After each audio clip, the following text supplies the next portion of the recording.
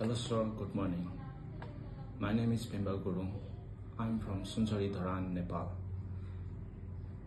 My age is 32 years old and I'm married and I have one children.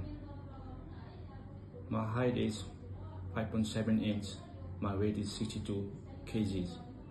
I used to work as factory worker in Volvo car manufacturing company in Malaysia for five years.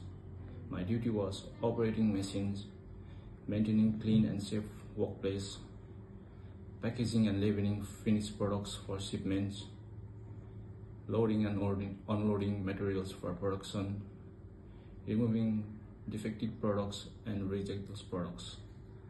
I'm hardworking and genuine person so please give me a chance to work at your company. I will be a great helpful for your company and I'm medically fit thank you.